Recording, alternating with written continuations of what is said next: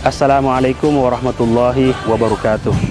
Dengan mengucap rasa syukur kepada Allah Subhanahu wa taala pada tanggal 21 Agustus 2019 secara resmi saya telah dilantik sebagai anggota DPRD Pamekasan fraksi P3 periode 2019-2024 untuk mewakili warga Pamekasan pada khususnya serta masyarakat Indonesia pada umumnya.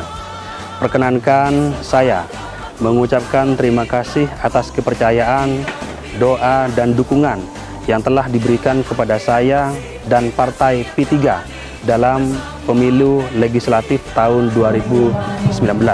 Semoga amanah dan kepercayaan ini senantiasa dapat bermanfaat dalam mewujudkan tugas di parlemen serta dapat memperjuangkan kepentingan masyarakat. Demikian hadanallahu wa iyyakum. Wassalamualaikum warahmatullahi wabarakatuh.